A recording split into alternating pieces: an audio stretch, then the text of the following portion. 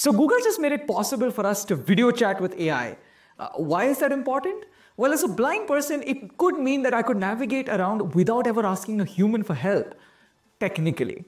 But I have to test this out. So we're gonna go outside and go to multiple locations, hopefully without injuring me. Let's go.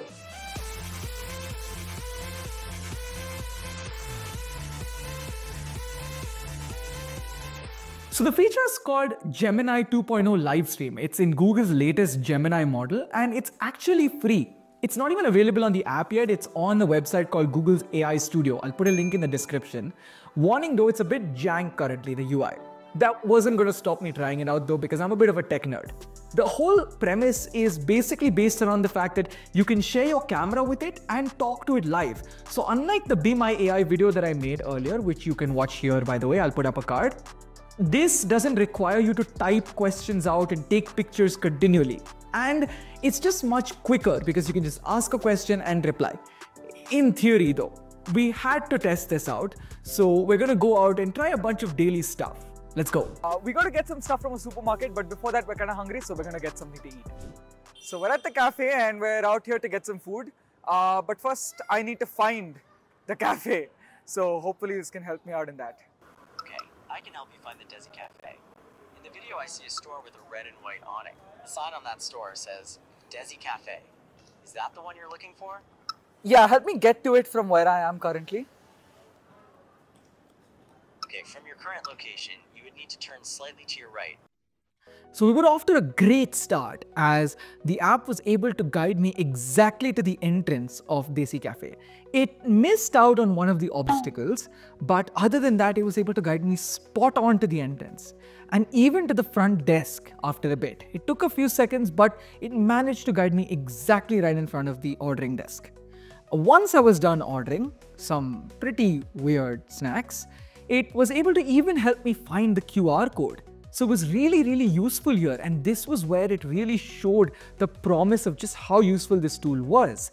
I was able to navigate without any help from my cameraman. Okay, so the first thing is done. We've ordered our food, but it's going to take some time. So while we wait, uh, we got to go get some other stuff. Let's go. So I'm in front of Das Minute, which is our supermarket, and uh, I'm kind of thirsty. So I want what's called an ocean, which my cameraman tells me is flavored water, and I have no idea what that is. Flame me in the comments.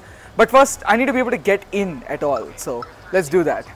Next, we went to the supermarket and here things started to go a bit off plan. It started okay. It was able to guide me to the entrance of the supermarket and I was able to go in. It even detected the fridges. But after that, when I wanted to order the drink, it just kept failing. We tried it two, three, four times. We kept turning it on and turning it off, and it just kept failing. Funnily enough, as soon as I kept opening the door.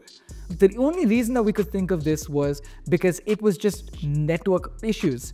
It was just not able to detect the right network, and even a small drop off in the network just resulted in it just going off and saying, Bye bye, we're done. And this was a big problem. We managed to get the drinks at the end, but I needed help. Uh, so that didn't really work out. It kind of failed. This was what I was looking for. It has Virat Kohli's symbol on it, as you might see. Uh, shout out to RCB. But uh, I think it was the network. It was just very network demanding and it didn't work. So, um, bummer. Uh, we got a few more ideas, but first, uh, food's ready, so we gotta go get that. While walking back, I actually had the cool idea to try to navigate back to the cafe through turns and stuff.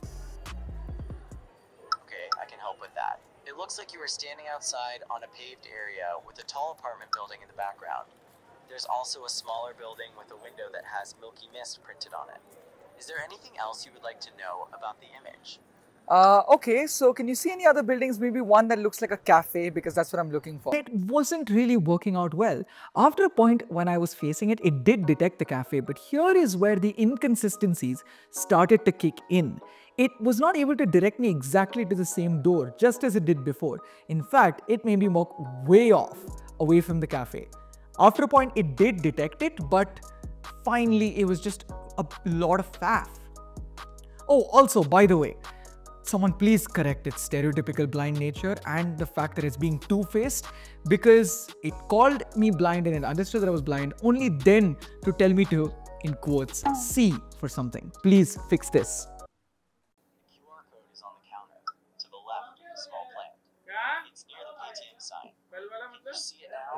Uh, I can't see, so you're gonna have to help me find it by directing me to go to it. Okay, I can guide you to it. Look at the counter, to the left of the small plant, near the ATM sign. That's where the QR code is. Brother, brother, I can't see. You're gonna have to tell me where the Paytm sign and the plant is. From my location, help me to get to it. Finally, I had this idea to actually test this to find a trash can because yes, my cameraman dropped that coffee on me. He will say otherwise in the comments, but it is true. And here is where the inconsistencies reached its peak because it was able to detect the trash can, but it couldn't for the life of it tell me where to go. It just kept failing and telling me, I'm sorry, I can't help you navigate here. This was a big problem, especially because the can was right ahead of me. So, pretty underwhelming end to the whole experience. Oh, okay, that was a pretty tiring one, and I have a few thoughts. This has shown glimpses of brilliance. Like initially, when it helped me get to the cafe and helped me find the QR code, it, when it works, it's beautiful, it's very quick, and it's very descriptive. The problem though is that A, it's very inconsistent. Sometimes it just doesn't describe it properly, sometimes it uh, fails outright, and sometimes it just says it cannot help me navigate. The other problem is that this is not a monitoring system. So I cannot tell it, for example, to help me find a certain item in an aisle, tell me when it finds it, because it is only based on me asking it a question in one particular moment and then it responding based on what it sees in that particular second. So it cannot keep seeing it and tell me, hey, I just found the Fanta. And that's not as useful when you're walking through a store and stuff because it takes time to ask it questions.